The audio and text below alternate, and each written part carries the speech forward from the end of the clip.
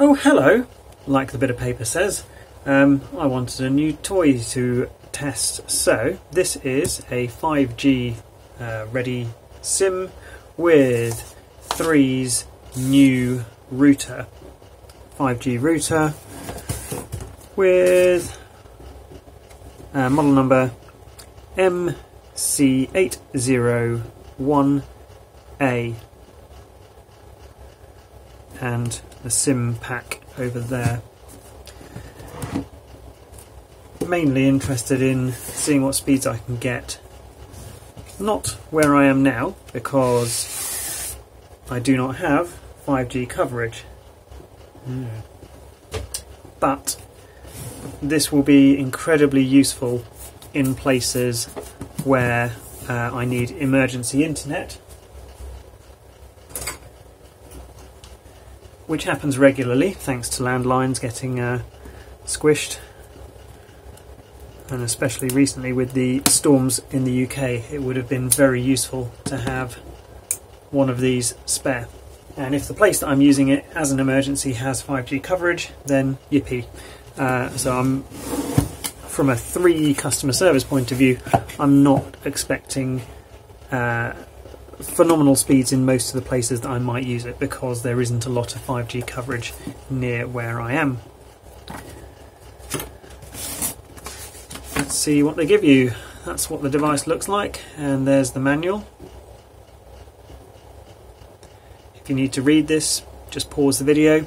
Just going to whiz through this.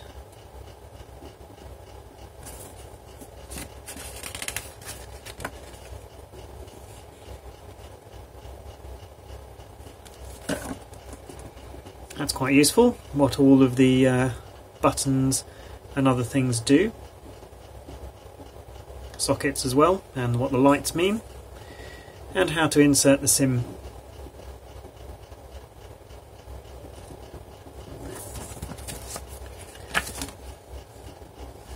So that's everything just been through of that. Got some conformity thing and then the manufacturer's manual rather than Three's manual.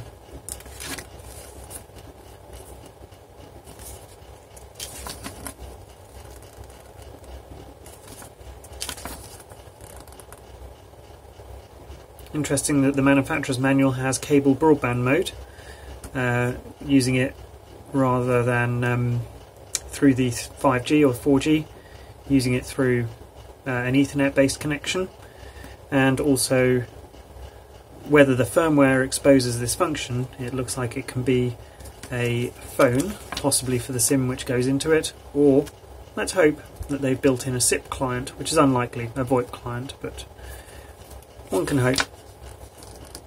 Far more details on the um, lights and what they mean.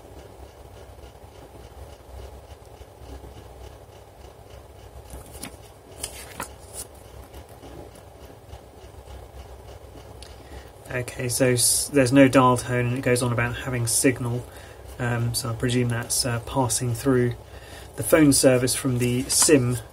Whether the 3 service supports that, I don't know, but I'll see if I can test that later. Oh, RF exposure. Uh, device should be installed and operated with a minimum distance of 20 centimeters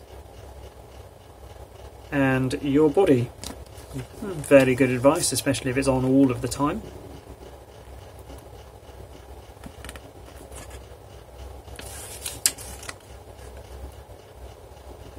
Please do not touch the antenna area on your device.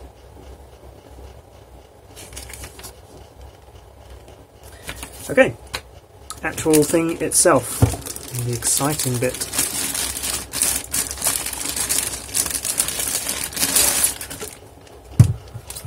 There it is. On the front, we've got two unlabeled lights.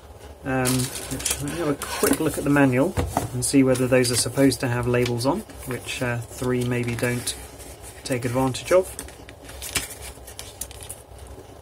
number one is the okay no it's the signal lights so those indicate signal.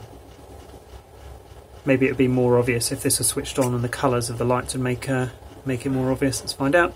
Network light, Wi-Fi light, power light. Three branding. Got a air vent at the top and vents at the bottom. On the back of it you have WPS button. Oh, an external antenna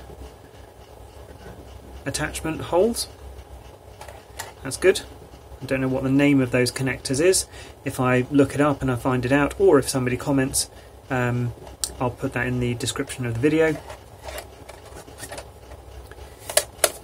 An RJ11 phone port for plugging in an analog phone or a DECT cordless phone. LAN port number one and lowest down LAN port number two and below that the power on the underside of the device a bit of junk we have 12 volts 1.5 amp rating over on the right hand side here you've got the IMEI number the serial number the SSID and the hard-coded uh, or initial default wireless details password default IP address of 192.168.0.1 and it also has a uh, default random password for the admin page.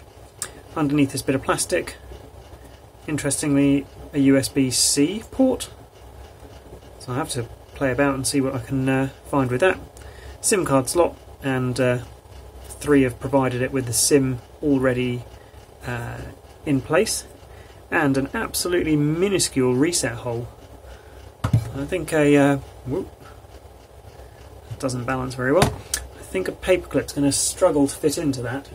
So here's one standard paperclip that I use for all of my videos. And indeed, that doesn't actually fit into that reset hole. So if you're going to reset it, you're going to need something more like the uh, eject tool from an iPhone or a, uh, a, similar device. So actually I think that's the iPhone one there. This one's probably, I don't know, maybe not. Anyway, let's try this other one yeah, that one does just about work. So yeah, standard paperclip is probably a little bit too large to press that reset button. Then there's this unknown gap that disappears into the device there. Not sure why that's there. Let's see what else is around. This is probably going to be the power supply. and indeed it is. We've got here a ZTE branded 12 volts 1.5 amps which matches the rating of the router itself. And kindly a network cable which I don't need for the moment. One router, there is the power. And that's now plugged into the mains. Let's see what the lights do. So the power light is on solid white initially.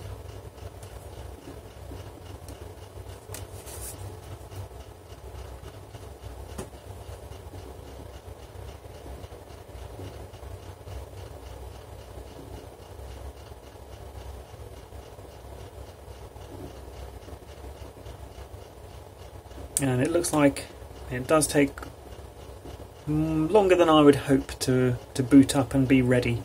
There we go, network's gone red,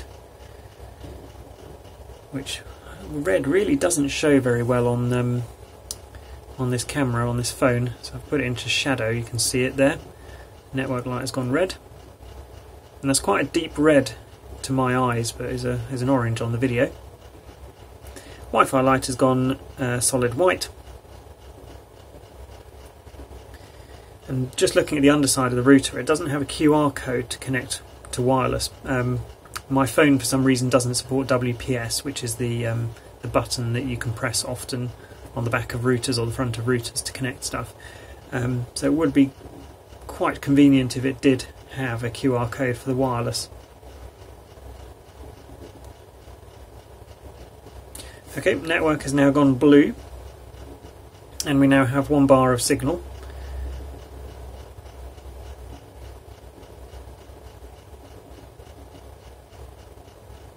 The other thing this doesn't come with is a card with the wireless details on it, which is going to make it um, a little bit annoying to type in the password on my phone because I've got to turn the router upside down and say if you're in a marginal signal area uh, and you have to pick up the router and move it from its ideal location to see the password, just a little bit annoying.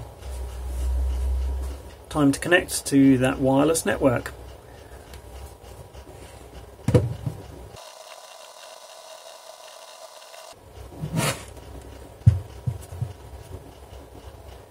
I am now connected. And that was a speed test I did earlier somewhere else so ignore that. Let's just see if I can focus down onto it. Let's start this test again.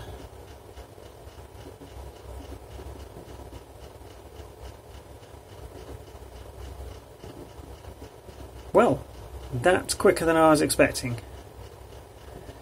I was expecting more like 14 megabits per second, uh, which I'm pretty sure is what I got on a telephone uh, in this same office when I last had a 3 SIM. So 48 down and uh, 3 megabit up could be better. Uh, almost certainly this will only be operating in 4G uh, mode, not 5G. The mast is a minimum of probably a mile and a half away uh, and we're in a brick building, um, and there will be no direct line of sight to the mast because around me are other buildings and houses um, which will be blocking the direct view of the mast. So I'm actually pretty impressed with that.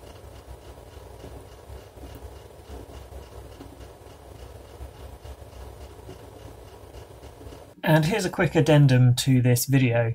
So you saw I only got about 45 megabits per second uh, where I was testing it in my brick built office with uh, many miles to the nearest mast and no line of sight. I then took it in my car to a place where there's a new 3, uh, what they call the Pole of Wonder, the 5G mast. I was parked only about uh, 50 meters from that mast and did a speed test. And you can see in one of the tests I got 987 megabits per second down and 141 megabits per second upload. And using the Ookla speed test app, I managed 973 megabits per second down and 137 megabits per second upload, during which time the ping does rise, so you might want some sort of QoS if you had this as a permanent setup and uh, high pings were going to be an issue for you.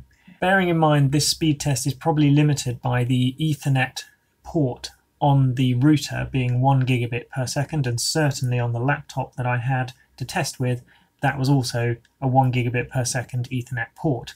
Taking the SIM out and trying it in my phone, I managed 1063 megabits per second down and 128 megabits per second up.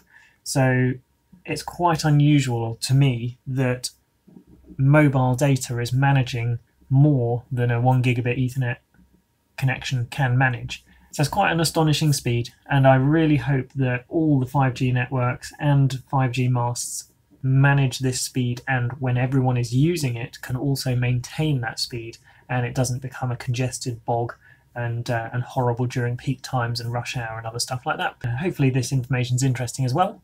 Back to the original video. So there'll be some other videos linked to in the description which you might be interested in. There will be a video about how to factory reset this router if you've forgotten its password or its settings or somebody's changed the settings and you, you can't get into it anymore. And there'll also be a comprehensive video about the web admin interface of this router showing uh, every page of the admin interface. So if you're trying to support somebody who has this router, uh, or if you want to see what uh, functions the router has before you get it, uh, that video will probably be quite useful. Hopefully this one's been helpful to you. If it has, it would be really helpful to me if you wouldn't mind subscribing to my YouTube channel. You don't need to have the video notification switched on, but the subscriber numbers really do help. Thank you very much.